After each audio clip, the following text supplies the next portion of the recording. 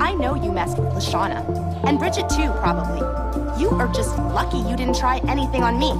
Eyes made their peace in difficulties with wounded lips and salted cheeks. And finally, we stepped to leave to the departure lounge of disbelief